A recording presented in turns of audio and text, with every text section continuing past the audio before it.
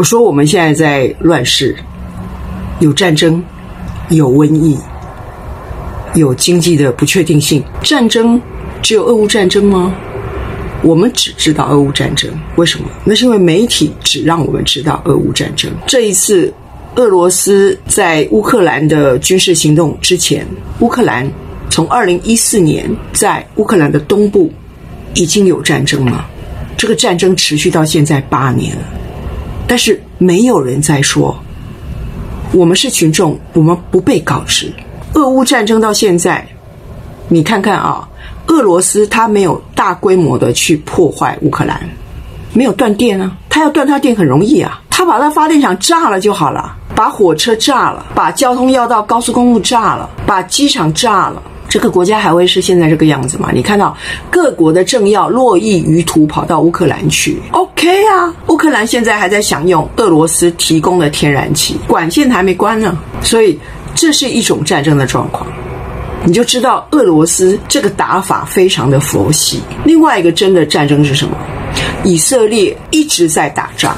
今天一个最荒谬的事情是，半岛电视台，我们都知道，那也是个阿拉伯世界他们主导的一个电视台。半岛电视台这个记者，他在约旦河西岸报道以色列他的军事行动，他就当场被枪击爆头。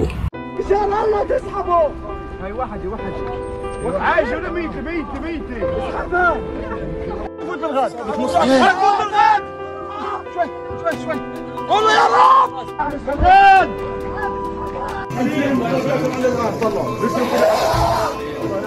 بالغاد شوي شوي شوي والله يا رب بالغاد الله يرحمهم شباب الله يرحمهم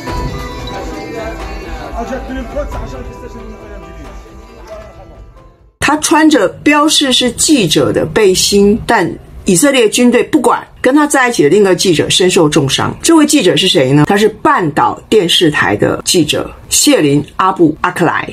巴勒斯坦非常非常的惋惜、震惊，但是有什么用？以色列有表示道歉吗？以色列有手软吗？这个阿克莱他正在报道的是什么？是杰宁市以色列军队的搜捕行动。结果他正在报道，以色列军队当然知道这几个人是记者，当然知道。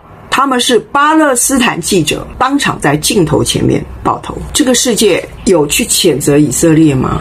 怎么敢这样子的一个恶啊？没有人，没有人去谴责。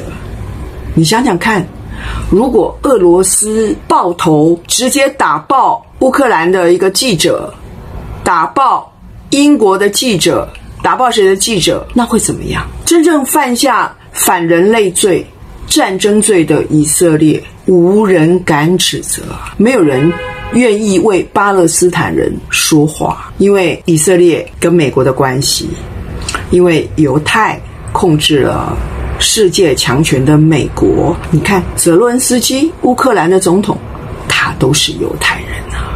那你告诉我，这个国际媒体有什么事你可以相信？